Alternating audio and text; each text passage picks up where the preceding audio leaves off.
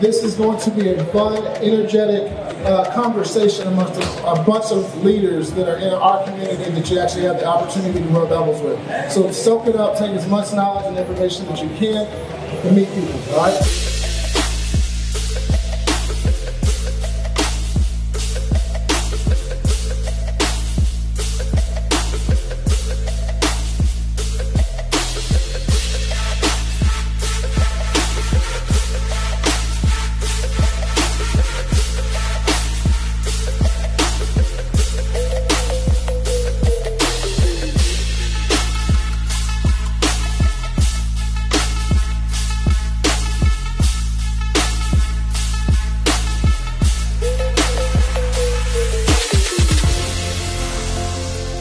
A lot of people talks about building a business, but no one talks about selling it. A lot of people talk about